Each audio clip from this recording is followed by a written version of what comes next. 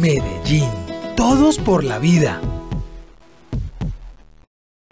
Bueno, hoy el Día Sin Carro en Medellín es un día muy especial porque la alcaldía, el área metropolitana, la empresa privada en Medellín, el Ministerio TIC se unen. ¿Para qué? Para que haya más teletrabajadores en Medellín.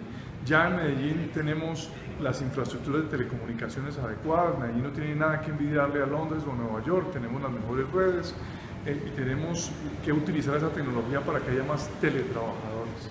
Los teletrabajadores trabajan desde su casa en empresas que tienen la cultura del teletrabajo y son teletrabajadores más felices, más productivos, no tienen el impacto en medio ambiente porque no se desplazan, no consumen combustible, eh, se ahorran el tiempo de los desplazamientos, se ahorran la energía de la oficina, etcétera, etcétera.